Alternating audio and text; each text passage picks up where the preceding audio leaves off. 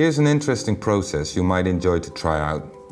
In this video we will show you how to make an oiled charcoal, a great drawing tool which I learned to make from my fellow painter Ian Rowlands. You'll need refined linseed oil in a jar and some willow charcoal. We put the charcoal in a jar with the linseed oil and let it steep overnight.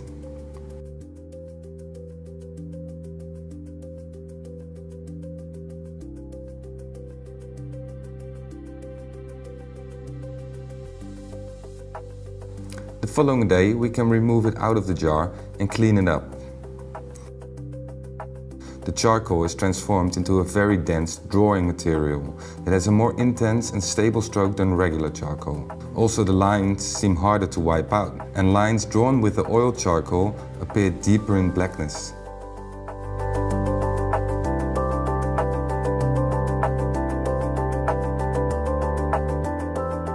The old charcoal has to be used quickly though, as the linseed oil will make it too hard to draw with when it dries. So here you are, oiled charcoal.